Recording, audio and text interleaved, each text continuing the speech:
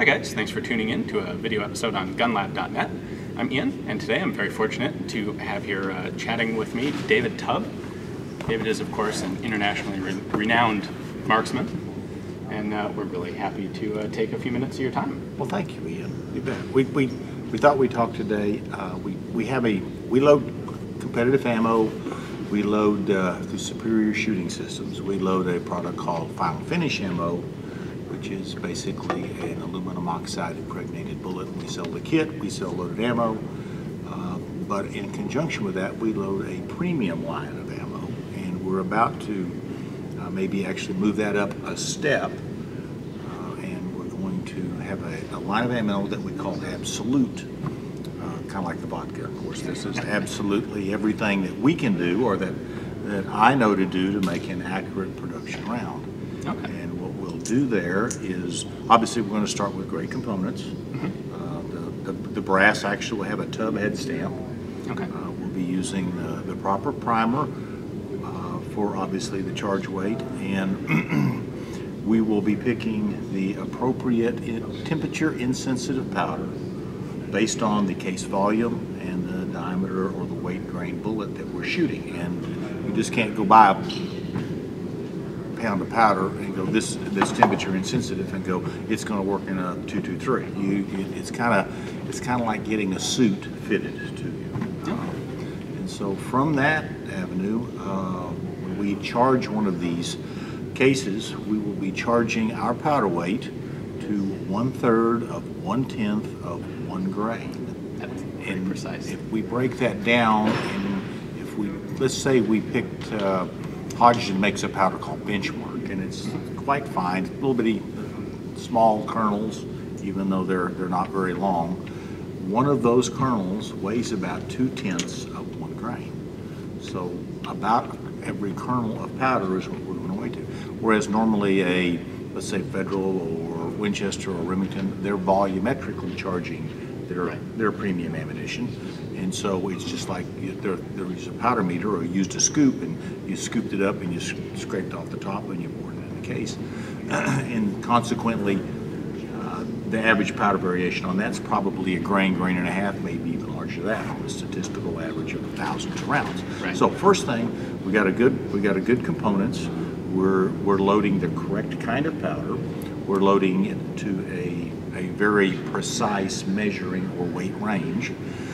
The next thing we do is we're going to take a, let's say we're going to load 175 grain Sierra Match King, and lots of people love those, mm-hmm. okay? Well, then We're going to take and, and perform another step to the bullet in the manufacturing process, and that is we're going to close the nose of it. And if you have a bullet that's, let's say, like this, and if it's if it's a little high on one side or one's a little open more than the other, they actually, when they travel through the air, they slow down and or get diverged a little bit when they should go to the target. Now, normally, it's that open-tipped match bullet is what you see for premium ammunition. That's correct, and that's called a boat tail because it's made from the back to the front. Right, and that's why it has that opening at the front. That's right. Is because we're pulling the brass around from the back. That's right. And it's a lot easier to make it pretty much concentric by chopping off the tip. Right. They're- They're actually don't chop the tip. They're they're they're they're cutting a jacket.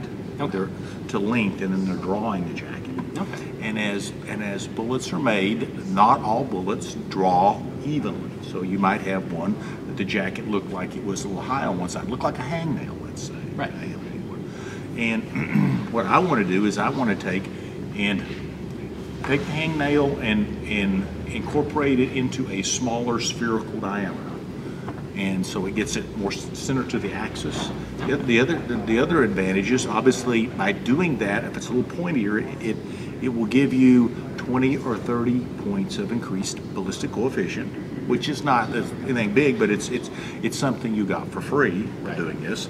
But when you do do that, if you launched all these bullets at 2,500 feet a second, let's say, when they get to the target, they're all closer to their to their uh, the terminal velocity in the target, they're all much closer, as opposed to having a 50 foot or 50 foot variation in, in bullet A to bullet from bullet one to bullet 10, excuse me, where they're all going to be going down. Let's say they're all 1,700 feet a second. Well, what does that do? If you make the if you make them slow down at the same rate, then they shoot a better vertical component group at distance. They're not going to help you on the wind, okay? Yep.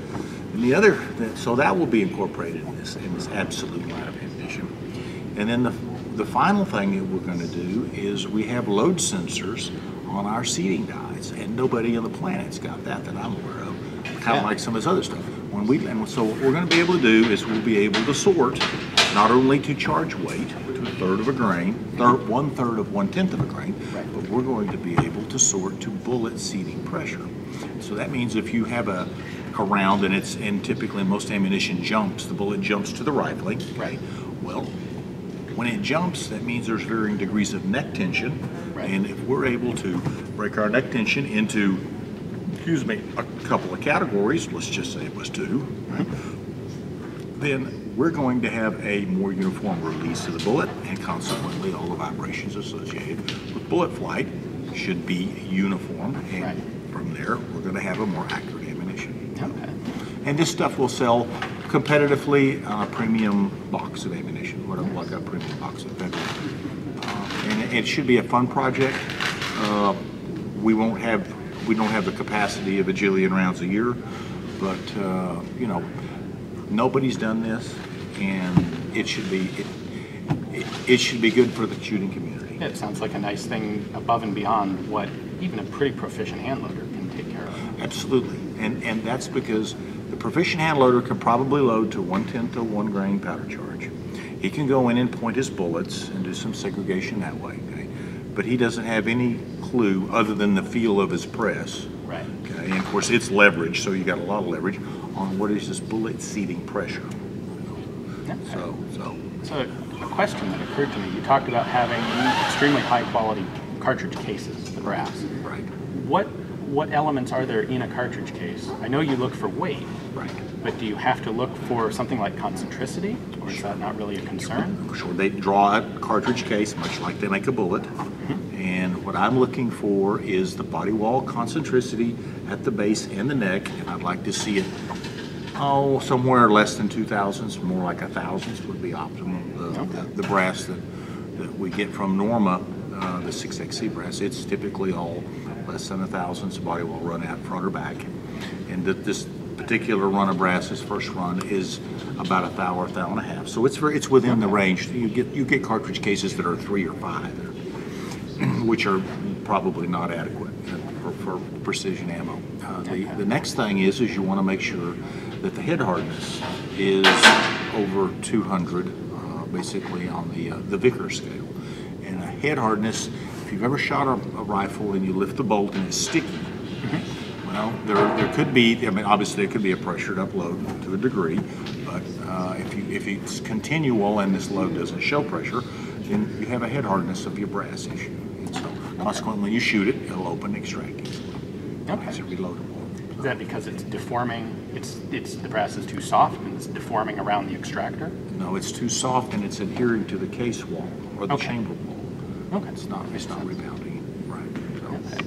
So I assume you're going to do 308 Winchester, That- 762 that- That'll be the start, and then, and then from there, we'll have a subsonic line. Since we're loading our powder, we- we're using great powder, and we're going to use, we can weigh our powder so finitely, Mm-hmm. then it gives us that leg up on a subsonic round.